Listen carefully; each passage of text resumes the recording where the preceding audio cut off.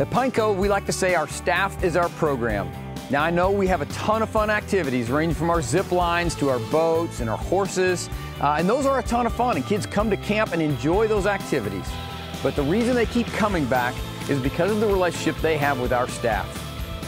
There are three things that help make us great as a ministry who we hire, how we train who we hire, and then what we expect of who we hire. We literally look all across the country to find the very best staff we possibly can at Pine Cove. We interview around 3,000 college students at over 100 colleges and universities.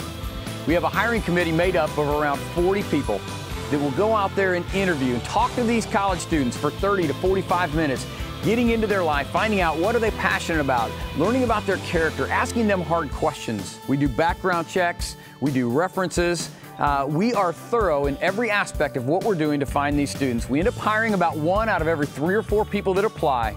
We do all of this so that we can find the very best staff to work with your kids. People know how serious you are about your mission by how serious you are about your training. Here at Pine Cove, we get our staff together for two weeks before summer to train them in mission critical stuff like how to be a lifeguard and how to be a boat driver and so forth. But we also talk a lot about vision and what we're going to do with these kids. Pine Cove exists to be used by God to transform the lives of people for His purposes and for His glory. We gather our entire staff together and teach about that mission statement and exactly what we're trying to do at camp. Camp directors then take all these college students back to their individual camps. They get together and talk about what it is that they want to do with the specific age groups that they have.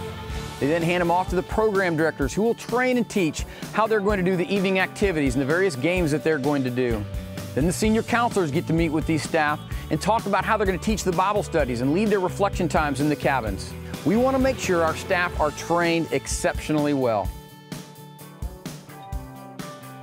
Lastly, let's talk about what we expect out of our staff. You know, we have a saying around Pine Cove that we hope the campers' best six of their 365 happens while they're at Pine Cove.